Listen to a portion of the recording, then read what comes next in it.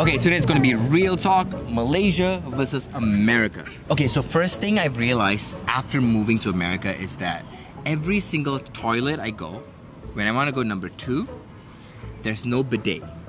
There's no access to water to clean my my butt. Oh, Why you, is you, that? You have access to toilet paper everywhere. You clean it with that. But toilet paper doesn't clean everything. It's poopy. You know, I've gone number How two. messy do you go? It's normal, you know, sometimes it's hard, sometimes it's soft, sometimes it's in the middle. But whatever it is, Oh I wash it with water. But like, you can still clean it. It'll get clean. With just the toilet paper? Yeah. Okay, okay, okay. Okay, let me ask you a question. If your hands touch poop, how do you clean your hands? with soap and water. There you go. Then why? But my hand goes and touches other things, so it doesn't. But just, your butt, butt sits What? on your pants and things. uh, again, how messy are you going? You can clean it with toilet it's, paper. it's not about messy, it's about poop there. Wait, wait, wait. Are you telling me you, st- you still use toilet paper after number two? yes. That's what I'm smelling right now. Stop it. that's, that's, that's what it is. okay, but seriously, I have questions about Malaysians' toileting habits. okay, what is it? Why are all of your bathrooms sopping wet? Because. Okay, like seriously, like the shower is right next to the toilet, right next to the sink. So if you do any of those activities, everything just gets wet constantly. Yeah. Yeah, it's it's because the prime way to clean yourself, whether it's butt, whether it's your body or whatever, is with water. And so sometimes it spills throughout the bathroom, and that's fine. It's okay. But like, why can't you just like put up like a shower curtain, like have some separation between like the shower and the toilet? Nah, too much things to buy. Just wash, water, leave the bathroom. But like, you can never wear socks inside your bathroom because it gets sopping wet. Why do you want to wear socks in your bathroom? Okay, okay, wear socks to toilets. Americans Maybe have dry bathrooms because they want to have socks in the toilet. maybe it's because it's cold here, so we do wear socks a lot. Oh, yeah, yeah, yeah. Okay, okay. I can see that. I can That's see probably why. Okay. Oh, America. Yes. I've got a question for you. Hit me. Why is all your breakfast foods filled with sugar? Why? Like, like pretty much we're eating dessert. As soon as I came here, we had like donuts, waffles, pancakes. I don't- Everything's I don't- filled with sugar. I don't see what the problem is here. That sounds amazing.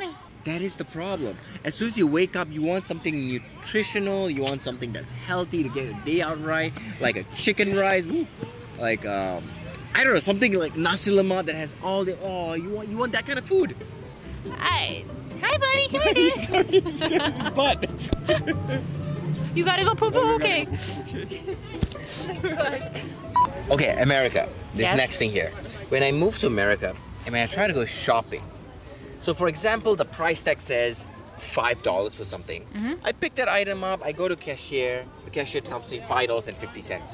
What happened between when I picked up the item and I walked to the cashier? What happened?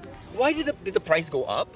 I mean, it's just called sales tax. It's not that novel Okay. of a concept. For in Malaysia, sales tax is included. So what when you see five dollars, it's already added on, so you know exactly what you need to pay. Here, I'm constantly second guessing. Okay, so I think I could be wrong about this, but I think it's because all throughout America, different states have different sales tax. Even like the state above us, Oregon, doesn't have sales tax. So if you go somewhere and a tax is five dollars, it's five dollars. That's Isn't that crazy? it's crazy. It's, it's very confusing. It's crazy, but it also kind of makes a little sense. I mean, America is so big, Yeah. it would be really hard to regulate things across the entire country. So I think that's why states have a lot more control in their government.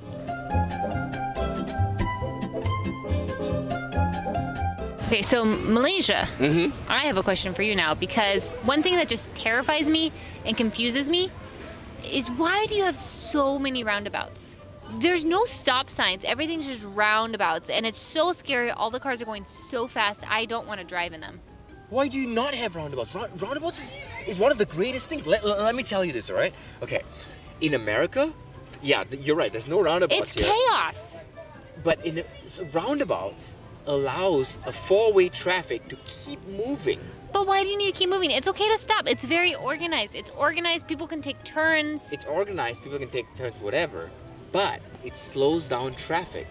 by, by slow. So you just think of this up when you have a four-way.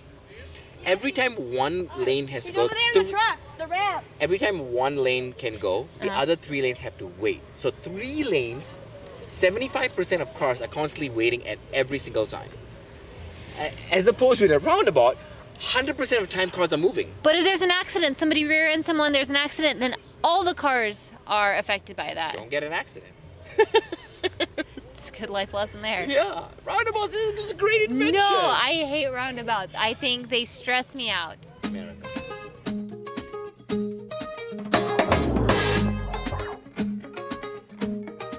Okay, so this one, America, I'm very, very disappointed with you guys. I'm so nervous right now. Yeah, I it's it's a touchy subject. I hope we don't we don't ever get demonetized. but why does your country have so much guns? And why actually actually not only it has so many guns, but also it's so easy to access a gun. Like I could easily walk to Walmart right now, pick up a gun like an AR-15, which is a like semi-automatic gun, and like own it and shoot. Like how how is it? Okay, so it kind of goes back to the roots of our country. Um, when we wrote the Constitution, and there are several amendments in it, and one of the amendments was the rights to bear arms, and it was in order to fight against, you know, England Okay. and all of that. I again, I don't have a lot of good answers for this because I think it's just been so built into the culture of like it is our right to own this, um, and I think Americans are very. We're very prideful people, and we like to have what we have and not feel like we're being told what we can't do. Yeah, and I think the other thing is like people like their freedom. People like- people like want to feel like they don't want to submit to the authority completely. You Yeah. know, they want to have some control, and guns is their way of showing that. you know, I still have. I think the argument has always been too, of like, well, if you make guns illegal, the bad guys are still going to buy them, and the But- good guys won't have them protect protect things. So like, I think that's an argument I hear all the time. Yeah, I'm, I'm not going to go into like the whole debate about why you need an, or don't need guns, but I just feel like personally for me, I I don't agree with it. I think we. I don't think we should like completely ban guns. I think we, we should make it very very difficult to get guns. I, I do agree that it should be regulated a lot more than it is today. Mm-hmm. Hi, buddy. Okay. Hola. So, on a much lighter note, what is with the Malaysians' obsession over rice? Like, there's so much rice in everything. You guys have rice for breakfast, for dinner, dessert, tea time. Like, there's always rice. Mango sticky rice. All your kuihs have some type of rice in it. Like, so much rice. Okay, so the thing with rice is rice is amazing because it is a blank canvas to anything that's possible. If you think about it, we can make like chicken rice, nasi lemak. We can even transform rice to become porridge. We can make rice noodles. Rice is so beautiful, and you can add flavor to it. You can even make it, like you said, sweet. Yeah. You know, so rice is a blank canvas that you can create something. So that's why. But and even also the thing about rice too, I feel like it also allows you to enjoy other food. Because rice, if you have multiple Mm. different dishes, the rice is like the main thing to use to neutralize and you make everything tick together. Rice is the one that brings not only foods together, but people together. Oh, that was beautiful. You know, rice, man. That's why we eat rice. Okay, so this next thing here, you ready for it? America? Sure. Okay. The dollar note. Why is all your dollar note from 1 to 10 to 20 to 50 to 100, everything is the same color? First of all, that's a dollar bill, not a dollar note. You're not call right. it, you call it a, We a call, note? it, we call it a bill. A bill. So you don't call it a note? No, I've never heard anyone in America call it a note before. I've been here for 11 years and I, I didn't know this. Are you serious? Yeah. What? Okay. Okay. Okay. So why is it the same color?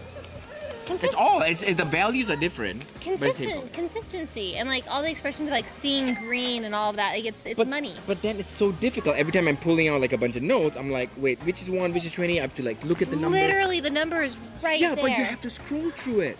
If you got the color, you'd be like, one. You know, red is you know whatever color. Yeah. Like, how often does this affect your life? Like on a day-to-day basis. Oh, we we don't use a lot of notes here. Bills. Bills. Yeah, that's true. We use a lot of cards. Like it just it's it's not that tricky to figure out what it is. Like it it looks different. Okay, so my mi- biggest question for you is Why do Malaysians insist on speaking in like three different languages, like just peppered throughout their whole conversation? Well, because a lot of Malaysians are multilingual. We can speak a lot of different languages. Then just stick with one language when you're having a conversation. Okay, the thing is, when we are talking about something and you have, you want to use the right word at the right time to emphasize what you're trying to say. So, because for each word, we got three different languages we can choose from. And sometimes language A can convey the message a little bit better than mes- than language B. So we pick language A. Okay, so but for my example, like I this has happened multiple multiple times with you and your friends. Is you'll be telling a story and the story will be 100% in English except for the punchline of the story. And then you'll say it in either like Malay or Tamil or Chinese. Because and it's like why? Why? But that's my point. Because the punchline is the funniest in that language. See? We we just got more in our library. You know, we But, can like, pull out more things. you just, and like you'll like switch words back and forth like and just like it's been so normalized. It is. Like you say like tapao even But though the- it's Chinese, right? Yeah, yeah. So the Or not bungkus like tapao. like, uh the disadvantage of that is we are never good at one language. We are decent at all of them. yeah, so it's like jack of all trades, master of none. yeah, yeah. But I like it that way. I think it's it makes us unique and special. Okay, so there's this one thing that kind of weirded me out after I moved to America. So there's this one day in the year, there's a random day, that all of a sudden you gain an extra hour. So it means that in that specific day, instead of 24 hours, you'll have 25 hours. Amazing, right? But then, six months later, there's a day that you lose one hour. So that day you'll have 23 hours. So this will completely mess up with your schedule, right? Like suddenly you have like so much light daytime and suddenly you have like so much nighttime, which is weird. I mean, Why? It dates back to the farmers, and then they moved the time so they had more time to harvest and more daylight in the morning. And like at the time, it made sense back in the 1800s, but now it doesn't make a whole lot of sense. It just makes it really dark when it's wintertime and really bright in the summer, like now. Hmm. So you're telling me it's so it's mainly because of farmers and agriculture Yes. and daylight savings time. I will vote to end it if I You, can vote. you can't vote. So I have a question for you, Mr. Malaysian. Hmm? What is with your power outlets? What about it? So many things. Why do you have to turn on the switch in order to use the outlet? Why can't you just plug and go? Because it's it's that's a safety feature, right? But- so when you want power, you turn it on. When you don't want power, you turn it off. But in America, guys, in America, You just plug it in and it's good to plug go. it in and it starts. Yeah, it's good to go. But it's a sa- it's it's dangerous. Imagine kids. You But- can turn off plugs so that electricity doesn't come through things. But can't kids turn it back on to them? Like that logic.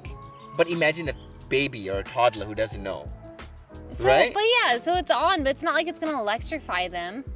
So you are you saying like so so if a kids are putting their fingers in the socket, it doesn't like shock? Yeah. I could see that, but like okay, Cut off the line. second part of that is and, and, and oh, sorry, sorry. One more thing. It also saves electricity. So you hmm. don't. It's not constantly running That's when you have a- things plugged in. Such a minute amount of electricity.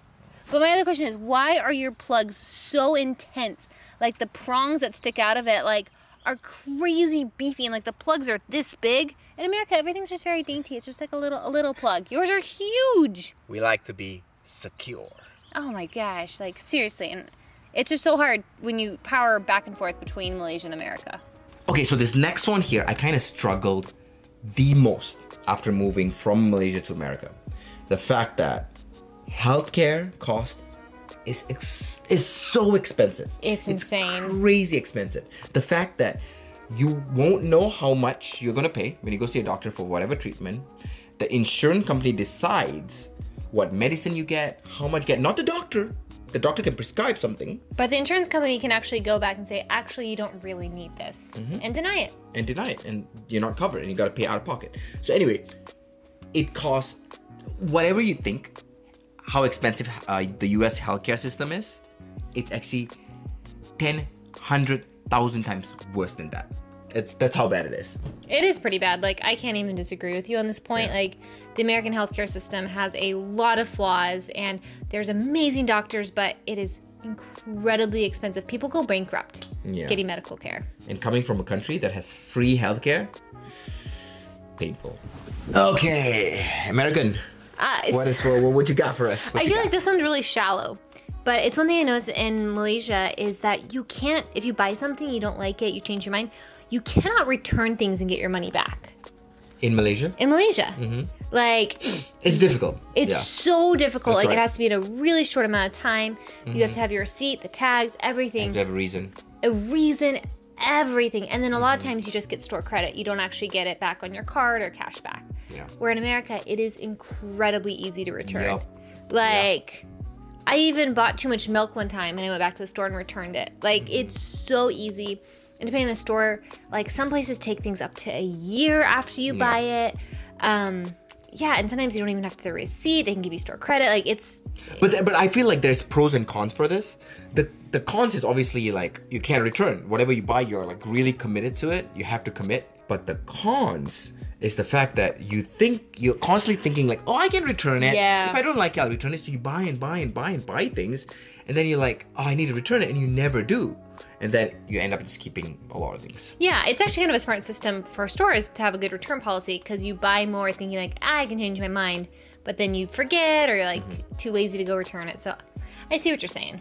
Anyway, guys, that's all we got for you. Uh, if you know of any other differences between Malaysia and America, leave it down in the comments below. We want to hear from you. Thank you so much for watching. If you haven't already done it, don't forget to like this video and subscribe. And we really, really hope to see you in the next one, alright? Bye. Love you.